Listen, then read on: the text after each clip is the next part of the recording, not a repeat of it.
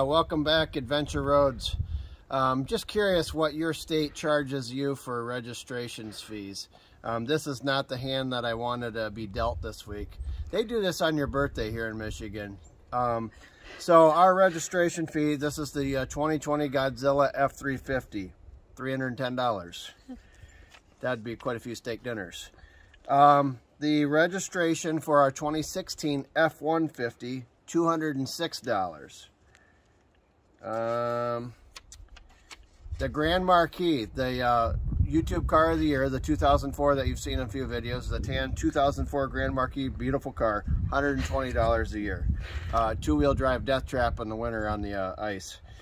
Um, the uh, Harley Davidson 2016, $31 a year.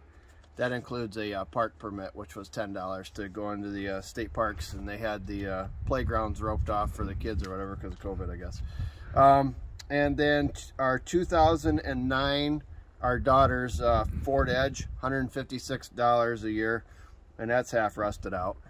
The uh, 2012, the other daughter's Taurus, um, that was smashed by a tree. Um, I'll have a picture of that. Um, but anyways, that was $138 a year.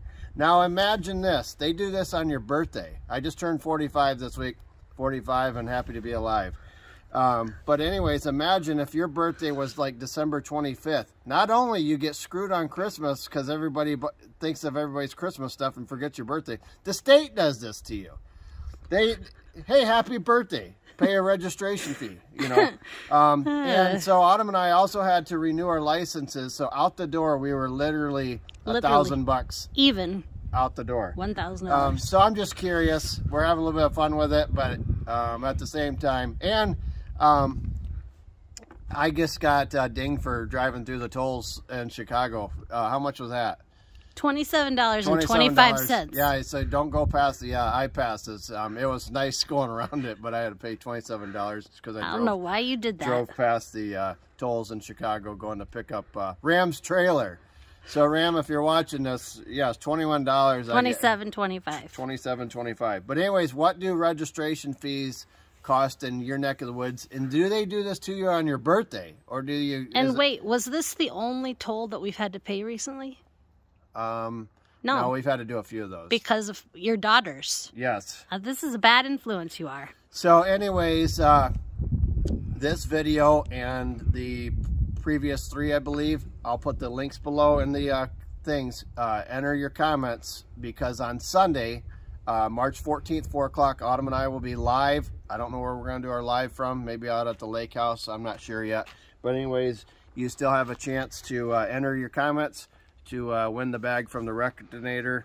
It's a deer hide bag with a uh, antler button hook on it. And it's got fire starter kit and all that in there. Jute rope and things to start a fire. So pretty cool prize. We're going to be giving that away on Sunday, March 14th. And it's spring forward. And as if you can see around here, our snow is actually melting. This is very unusual for it to be this much of it gone, but we're happy.